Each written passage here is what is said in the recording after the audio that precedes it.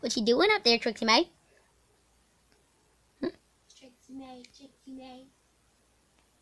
Welcome to my body. She's up there. She's staying at Sue's.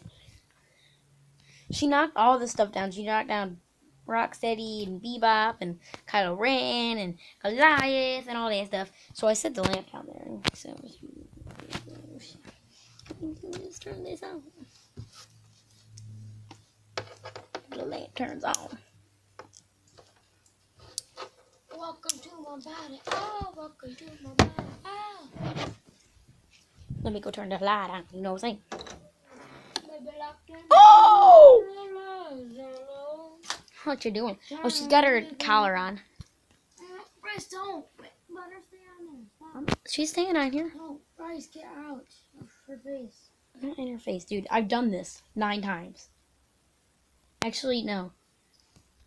Ten, including the cat and dog.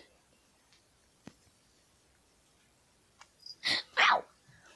She bites. She's a bitter. She's a She does biter. bite. Yeah, she did. She just bit me. She barely ever bites.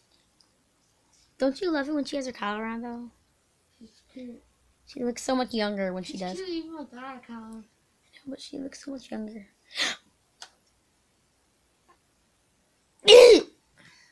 Don't bite. I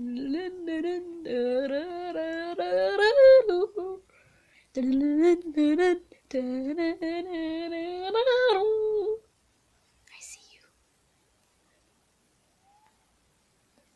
Goodbye, Trixie May. I have always loved you.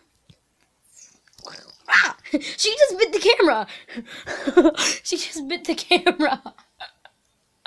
Did you see that, guys? Did you see that, fam? Mm. Oh, jeez. Jack, that work. I've been watching too much Cory.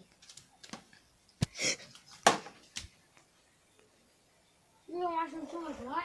Cory Kenshin. Because my name is Cory Kenshin. I don't know. He's just some dude that's all smarter than you are. Goodbye, Trixie May. Nobody's buying Trixie. I said goodbye, oh. not bye, Trixie. Okay, goodbye, Trixie.